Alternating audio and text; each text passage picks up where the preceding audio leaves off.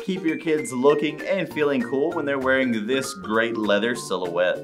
It has a contrast suede heel patch there in the back to give it a pop of color and a nice contrast look, with a double hook and loop closure strap across the top that's fully adjustable to give them a secure fit. That inside lining is also leather keeping it cool, with a very cushiony foam footbed to give them comfort underfoot. It all sits on top of a durable rubber outsole that has a nice grip and plenty of flex, with a toe cap on the front to help protect from scuffing and helps protect their toes.